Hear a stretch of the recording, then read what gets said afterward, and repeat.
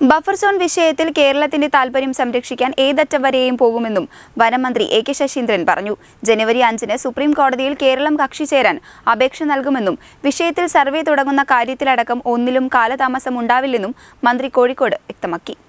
വളരെ കാര്യക്ഷമമായാണ് കാര്യങ്ങൾ നടത്തുന്നത്. കോടതിയിൽ കേരളത്തിന്റെ വാദം എന്താണ്?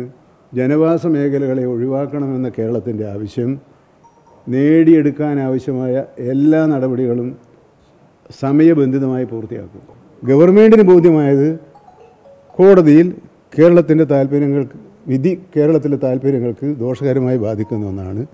അതുകൊണ്ട് നിയമത്തിന്റെ വഴിയെ പോയി മാത്രമേ ഇത് പരിഹരിക്കാൻ കഴിയുള്ളൂ എന്നും നിയമത്തിന്റെ വഴിയെ പോകണമെന്നും തീരുമാനിച്ചു. സുപ്രീം കോടതിയിൽ കേന്ദ്ര ഗവൺമെന്റ് കൊടുത്തിട്ടുള്ള ഹരജിയിൽ കക്ഷി ചേരണമോ വേണ്ടയോ? അപ്പോൾ കക്ഷി ചേരുന്നത് നില- നിലപാടാണ് ഇപ്പോൾ അഡ്വക്കേറ്റ് ജനറൽ എത്തിയിട്ടുള്ളത്. ബഹുമാനപ്പെട്ട സുപ്രീം കോടതിയുടെ വിധിയുടെ ഫലമായി ഉണ്ടാകുന്ന പ്രയാസങ്ങൾ ദൂരീകരിക്കാനുള്ള നടപടികളാണ് സ്വീകരിക്കുന്നത്. അതിനെ മറ്റുള്ള അതുകൊണ്ടാണ് സമരം മറ്റു പല വഴിക്ക് പോവുകയാണെന്ന് ഉത്തരവാദപ്പെട്ടവർക്ക് ബോധ്യമായി തുടങ്ങിയിട്ടുണ്ട്.